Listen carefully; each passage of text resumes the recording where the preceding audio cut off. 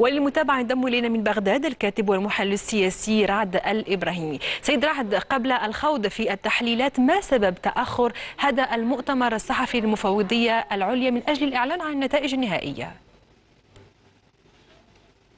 أهلا وسهلا. بالحقيقة ما أعلنته المفوضية آه، عبر متحدثها كريم التميمي في التصريح لأحد القنوات بأن سبب التأخير هو آه، زيادة في تدقيق الأسماء.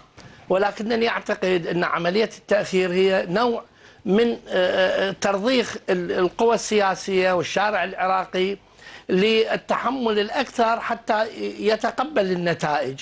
أن من ينتظر أكثر يتقبل النتائج مهما كانت وأعتقد هذه إحدى الطرق لامتصاص آه، الكثير من المشككين بنتائج الانتخابات.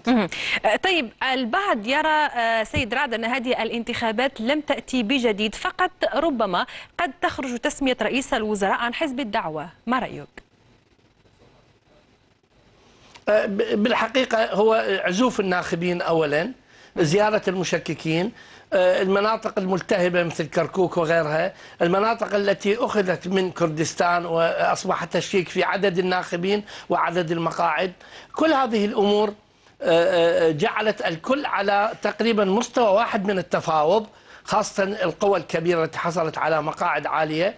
وبالتالي نحن لا نتوقع هناك تغيير إلا إذا حصل هناك اتفاق حقيقي بين سائرون وبين النصر وبالتالي هذا هو شبه إعلان لانسحاب العبادي من حزب الدعوة. وأعتقد هذا الأمر صعب جدا. الأمور سائرة نحو آه، خوض آه، ماراثون طويل بين القوى السياسية للاتفاق على اقتسام آه، مقاعد طيب. البرلمان ومن هو رئيس الوزراء. العبادي الآن متأرجح نعم. الحزب الفائز حتى الآن هو سائرون آه، بزعمة مقتدى الصدر والذي لمح في تغريدة يوم أمس أنه سيتحالف ربما مع الجميع ولكن فقط لا لن يتحالف مع آه، آه، دولة القانون. طيب هناك أيضا بالنسبة لتسمية رئيس الوزراء تتدخل فيها دول إقليمية أخرى وهنا الحديث عن واشنطن وعن طهران طبعا. كيف يمكن برأيك أن تكون هذه التسمية؟ آه، لأنه نعلم أن رئيس الوزراء هنا هناك هناك تدخل من بعض الدول من أجل تسمية هذا الرئيس. هل سيؤثر ذلك على الوضع؟ آه، يعني الوضع العراقي السياسي آه، يعني خاضع لتأثيرات خارجية صحيح؟